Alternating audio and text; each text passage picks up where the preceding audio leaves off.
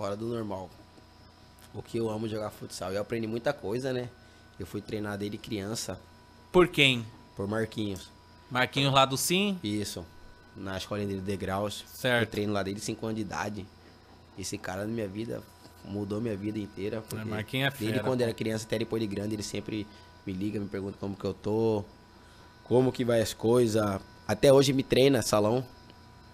E o salão é importante na minha vida, eu prefiro o salão. Mas ele não sabe nossa jogada. Não sabe, né? Não sabe. Qual que é o nome dela? Titanic. Como que é a jogada. Titanic? Ele já, já, já, já diz tudo, o nome. Vai afundar? É. Não dá certo. Contra-ataque, que ele afundou nós lá no. afundou o barco. Que é isso, cara. Foi culpa sua. Esse cara aqui é covarde demais, velho. Ele fala, nós combina, é assim. Eu vou ali, você dá o passe. Ele faz tudo diferente. É, Mas vocês já, já conseguiram, assim, gols somente combinando na conversa Já. uma jogada? Lá no Cabral, Fortaleza. Como que era a jogada? Vamos relembrar aí. De falta. E vocês combinaram na hora ou antes do jogo? Ó, se Na hora. acontecer na hora. na hora. Isso foi na hora. Depois que nós Caraca, começamos. essa eu quero escutar. Foi falta fora da grande área. Bem na ala. Do lado esquerdo. do lado esquerdo. Ele pegou a bola. Eu ia bater pro gol. Eu falei assim, eu vou bater. Aí ele, não, cara, eu vou tocar pra você na frente da área. Você chega batendo. Eu falei, não vai dar certo. Ele falou, só vai. Você é rápido. só vai. Eu falei, beleza. Fiquei parado do lado dele. Ele falou, corre. Ele tocou a bola pro lado. Foi dito certo. Acertei o Sapecou. chute. Foi lá no Uma jogada muito característica também- do futsal também, E né, também William? teve uma que eu fiz com Ah, ele jogada de salão. diagonal. Lá no. Lá no Foi rolê. no rolê. Nós tava jogando amistoso. Aí eu fiz uma jogada com ele. Eu falei assim: ó, corre até mim e quebra pela direita. Você vai sair na cara do gol. Falou: você não vai. Eu falei assim: corre, cara. E nós tava perdendo 2x0 já. Nós tava perdendo 2 a 0, dois gols dele. Ô, Ilinha, o, o futsal ele ensina muito isso, né, cara? Ensina, muita, muita jogada ensaiada, muito posicionamento Muito que os também, muito caras. pensamento rápido. né? Exatamente, Porque cara. você, não é igual o Society que você pode dominar, igual o campo que você pode dominar, olhar, pensar o que você vai fazer. Ainda a bola chegando, não sei se já tem que entrar pisando, já tem que criar uma jogada, você dá um drible que o carinha pode estar chegando em você. Ixi, é coisa fora de série jogar futsal. Ainda mais com quem entende, né? Só você pegar um time bom que entende também.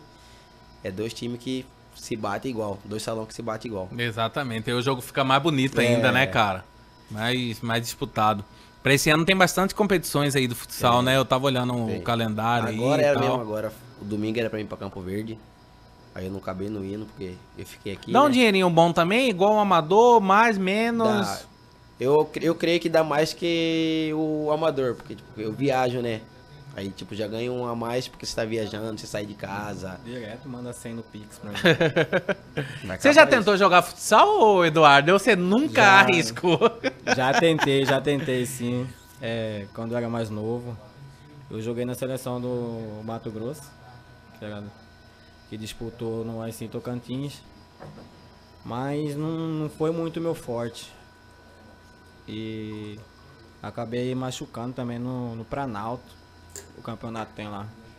Até porque você é um cara que gosta mais de espaço também, né, mais de cara? espaço, porque eu já sou de fazer jogada rápida, entendeu? Então, o cara que for inteligente pra me marcar, se ele pegar a mãe que eu jogo, ele me marca fácil E entre o, o Society e o campo, se você tivesse que escolher também, pra onde você iria? pro campo. É onde você se sente mais à Eu me vontade. sinto mais à vontade. Entendeu? Porque velocidade, dos caras dar espaço pra me dominar, jogo mais aberto. Você fez um baita campeonato na LCB, né, cara? No título do Ouro No Verde. título do- do- quando, quando eu surgi, né? Exato. Quando você teve de fato, assim, minutos pra jogar, a confiança do treinador e tudo mais, né, Ele me cara? deixava à vontade pra jogar. Ele falava pra mim só ficar até o meio de campo pra frente. Não marcar. E LCB, LCB tá voltando, hein? Hélio Luiz vai organizar LCB a partir de agosto. LCB vem aí com o campeonato organizado, né? O campo tá um tapete lá no Ministério do Jardim Paulista. Vamos fazer uma reportagem lá essa semana mostrando o tratamento que foi dado no gramado do Ministério Benedito e Sabarreto. O palco do, do campeonato assim mais badalado, cara, do futebol amador em futebol de campo é a LCB. Sabemos que tem um peladão com potencial da sua premiação. Mas os feros, pica, quer jogar, é lá na LCB. É de lá que vem jogador do interior, vem de outros estados. Então, não tem jeito. Lá é, é outro patamar. Ali, por você ser de casa ali, Eduardo, é, é diferente jogar ali, né, cara? É mais gostoso, né? E mesmo estando ali no bairro mesmo, tem várias pessoas que torcem contra e dá um gostinho a mais de jogar. Entendeu? Se eu escutar o povo criticando você, aí que pega aquilo de. E aí mais gostoso, aí você faz um gol, faz uma jogada, você olha pra pessoa, a pessoa tá com, com uma cara, expressão baixa. Ah, Acabei de criticar o cara e o cara calou minha boca. Isso é gostoso de jogar. E o público ali é sempre bom também, Sempre né? bom.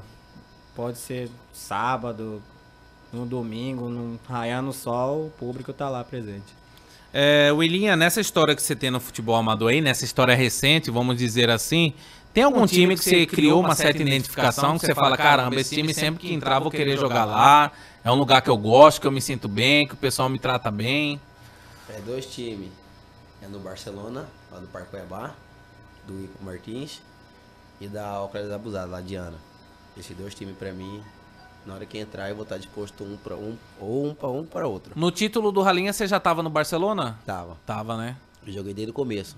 Aí eu falei assim, não, vou dar uma assistência a mais aqui pra eles, deixei ele viajar um pouco o salão e joguei mais aqui em Cuiabá com eles, no Ralinha. Legal, cara. Que bacana. Trabalhou com o professor Zono, Com o Zono, grande pro Zonoel. Dá licença, cabeça. cozinheiro de primeira qualidade. Cara, e Xerel?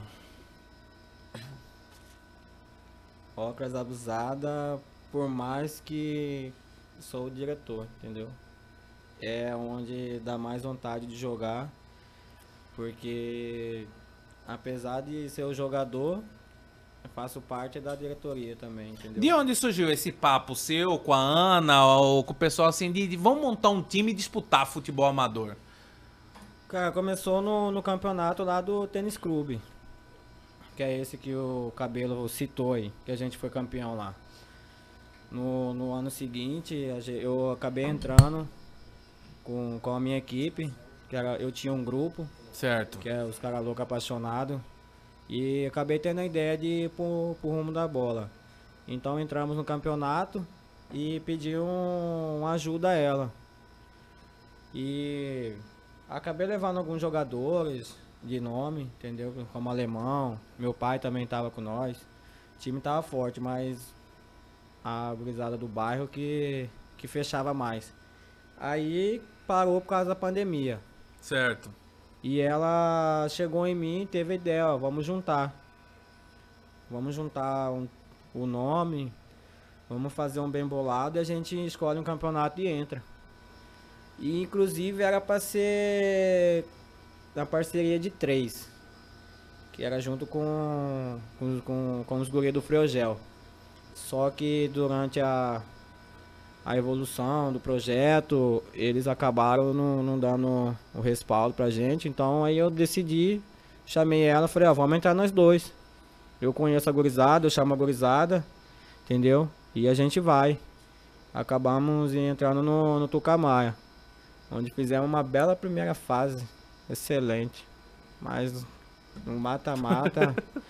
Não deu jeito. Deixamos a desejar um pouquinho e acabamos desclassificados. Aí